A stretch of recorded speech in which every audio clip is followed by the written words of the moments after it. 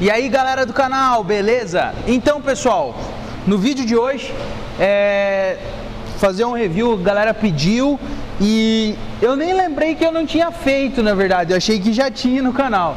Essa é a 7.2 modelo 2020, né? Então eu vou mostrar para vocês todos os specs da bike e aqui do meu lado direito, tá fora da câmera, tem uma outra 7.2 que é a versão 2019. Então eu vou mostrar aí comparativos para vocês entre essa 2020 e a 2019, que foi que mudou. Então vamos lá, vamos mostrar a bike um pouco melhor para vocês.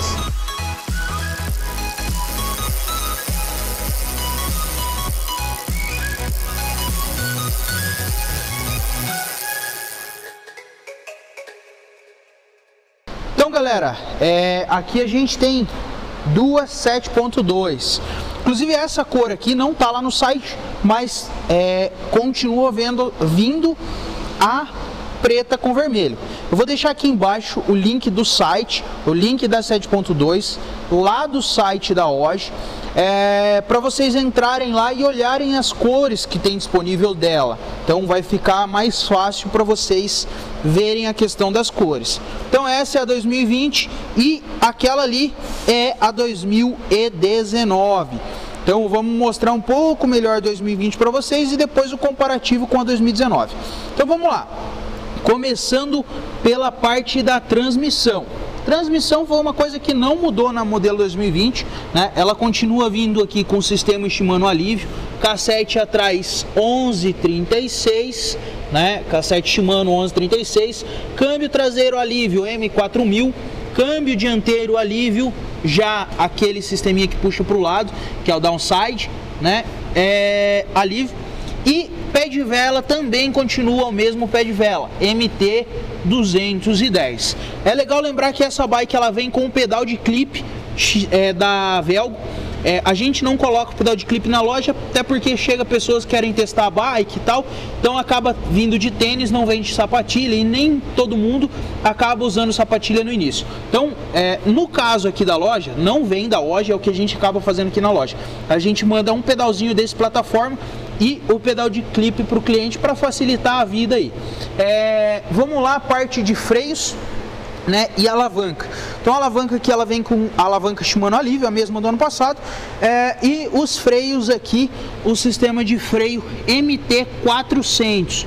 Né, freio hidráulico da Shimano, modelo MT400, é, modelinho bem legal, manetezinho cinza, né, prateado, é, bem legal. Então parte de sistema de marcha e freio não mudou, continua igual do ano passado.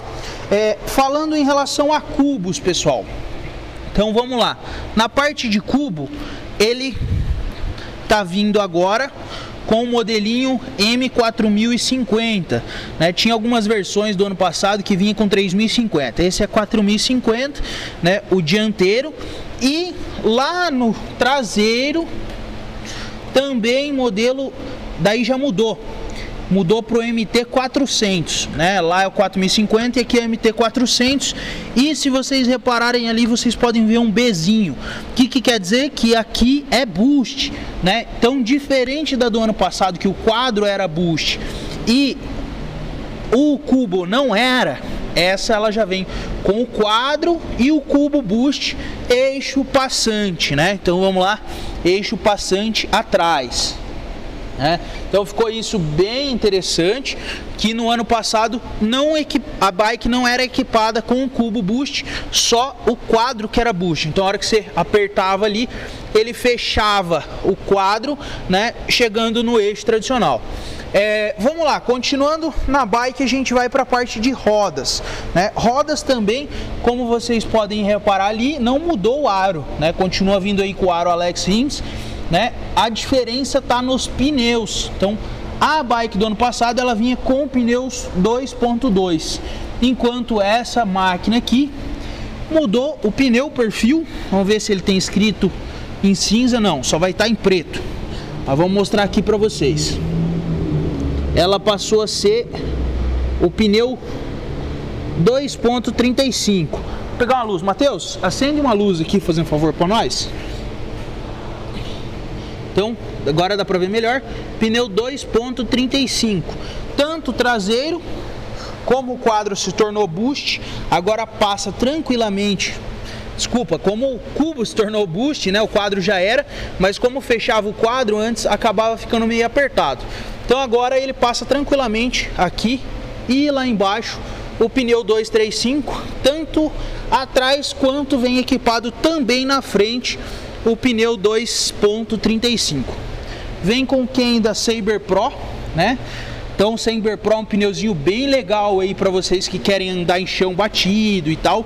Ele é um pneu que ele deixa a desejar um pouco se falar em relação a cross, cross country, trilhas fechadas e lugares mais molhados, né? Como o cravo é baixo, lugar mais molhado, a bike acaba perdendo um pouco a dianteira, né? Justamente pelo pneu ter cravos baixos. Mas em relação ao asfalto estradão de chão, terra batida, é excelente esse pneu, até porque a bike fica com a rolagem bem legal. É, continuando lá, a gente vai para a parte do quadro. O quadro foi um item que não mudou, né? Então só mudou que lá atrás passou a ser agora realmente boost, né? E ele teve uma pequena mudança na parte da gancheira traseira aqui. Foi algo bem sutil, mas teve uma pequena mudança, né? O quadro em si continua o mesmo, cabeamentos internos, né? Então a parte de cabeamentos internos, dois suportes de garrafa, então você consegue transportar duas caramanholas, tem bikes que não vêm com isso. É, direção dele é tapered, né? Que é aquela direção que em cima é mais fino, embaixo é mais grosso. Então a direção tapered. É, e o cockpit dela, ITM. Então guidão, mesa e canote italiano ITM. Né? Manoplinha, essa manopla é bem confortável, bem interessante. Em relação a Herbert, mas a cor é a mesma. Galera, aí vamos lá, diferenças da bike. Né? A cor também mudou, né? Se você reparar aqui, ele o cinza ele é um cinza bem discreto, enquanto aqui ele fica um pouco mais claro, né? Então vai ter uma pequena diferença aí na cor da modelo 2020. Isso para você saber que é 2020. Você vai perceber que o cinza é um cinza um pouco mais escuro, enquanto lá é um cinza mais claro, né? É, aqui faltou um detalhe, suspensão. Suspensão ela vem com a suspensão RockShox XC30, que já é de praxe. O ano passado também utilizava a mesma suspensão, com trava no guidão, né? Então com travinha no guidão. E na parte de relação, assim como ano passado, também duas coroas na frente, né? Então a gente vai lá, duas coroinhas na frente, por nove velocidades atrás, Shimaninho alívio, né? Então nove atrás.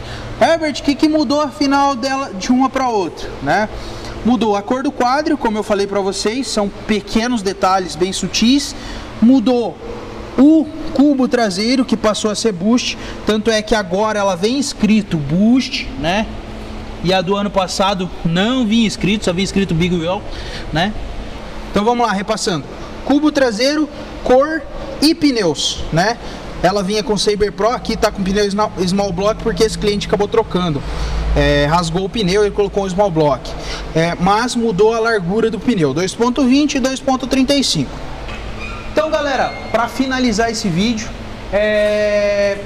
preço da bike, né? Até essa bike ela teve uma alta bem recente, devido a essa loucura do dólar e tal, a hoje fez um reajuste de preço nessa bike. Hoje o preço tabela da hoje é 4,959. Esse é o preço tabela da hoje.